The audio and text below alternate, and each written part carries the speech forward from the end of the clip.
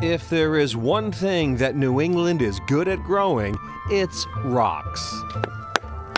And if those rocks are lucky, they just might turn into stones. The difference between a rock and a stone is that a rock is just an unemployed stone. Because a rock has no value as it just lays in the earth. But as soon as a human uh, picks it up and utilizes it for its integrity and builds something with it, it gives it a life, it becomes a stone. It stands to reason New England is fertile ground for stoneworks, and they're all over the map. A tiny peninsula in New Hampshire experiencing an oceanfront building boom. In Rhode Island, a cluster of stone houses of a kind found only in Rhode Island. And outside of Boston, a stone cold mystery hidden in a sprawling office park begging to be solved. The most murky, the most lonely house in town with the most questions and the fewest answers. Meanwhile, up in Vermont, the heavy, humble craft of dry stone wall building has taken flight, evolving into realms of art and pure imagination. Tonight, a survey and celebration of New England's true rock stars. This is Chronicle on WCVB Channel 5. Every time you take a rock off of the ground, it's that rock's life goal to get back on the ground.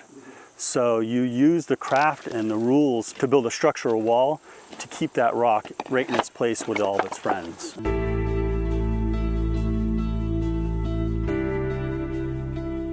The rules and craft of stone wall building are deeply ingrained in Jared Flynn. There's a certain responsibility that comes with it because when you're moving the stone, you know that when you put it down, it's going to be there forever. Flynn is, after all, one of the founders of the Stone Trust, a nonprofit that hosts workshops and certification tests for amateur and professional dry stone wall builders. No mortar, no cement. The Stone Trust, headquartered on Scott Farm in Dummerston, Vermont, a historic orchard operated by the Landmark Trust. The grounds of Scott Farm, an open air laboratory of sorts for experiments in stone. I describe it as passion. It has to be a passion driven trade because it's so laborious. I mean, who would ever think that they would want to pick up rocks all day, every day? For more than half of their lives.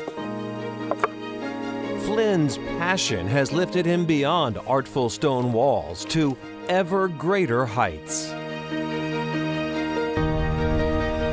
The Moon Bridge in Putney, Vermont, the heavy stone held together by nothing more than gravity and friction. The idea born when Flynn rescued some granite blocks from a dismantled railroad bridge. Similar to cooking, like you need to gather your ingredients to make dinner. As for a place setting, Flynn found an orchard hilltop with an open view to a distant Mount Monadnock. More importantly, it came with owners with an open mind. Once I had it drawn on a piece of paper, I, I brought it to the farm, and literally in less than a minute, they were like, sounds great. We were excited to have the opportunity to uh, welcome the project here. Green Mountain Orchards has been farmed by the Darrow family for more than a hundred years.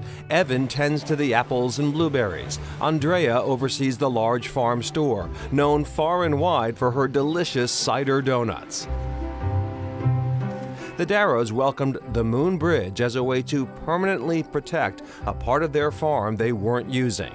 If you hired somebody to build a project like that on your property, I don't know what it would cost, but we felt that it was a huge privilege to have that put there.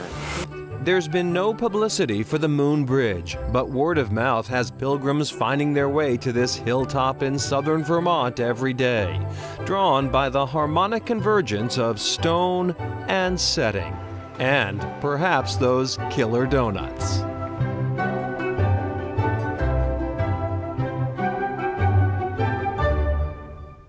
Wow. And Jared Flynn said when it comes to finding a place for his creations, The farmers have all the good land and the best attitude. Best attitude. I mean, he's dealt with public commissions, Right. obviously, with their meetings and their codes and their delays. He says dealing with the Darrows was a dream. Within minutes of meeting, they had a plan, and he was cutting trees to make space for that structure the next day. His work is incredible.